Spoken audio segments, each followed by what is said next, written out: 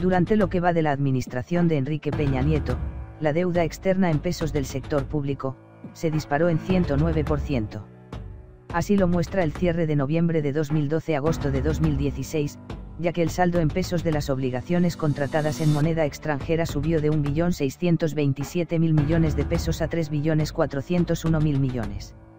Esto ocurrió gracias al alza de 43,5% en la cotización del dólar, que pasó de 13.037,2 a 18.577,3 pesos en los primeros 45 meses de la gestión de Peña Nieto, además, también influye la contratación de nuevos pasivos en el extranjero.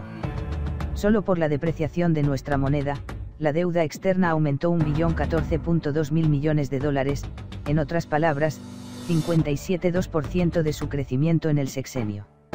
Además, la deuda en dólares creció 47% en ese periodo, principalmente impulsada por Pemex, cuyo ritmo de endeudamiento se aceleró a partir de la caída de los precios del crudo que inició en junio de 2014 y se agravó en 2015.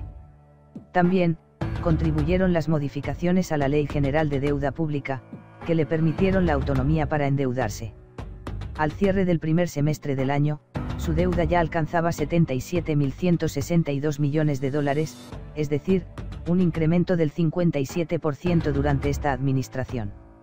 Se espera que, aunque el gobierno no contrate más deuda en dólares, esta podría continuar creciendo por el tipo de cambio, que ya aumentó otro 5% al finalizar septiembre.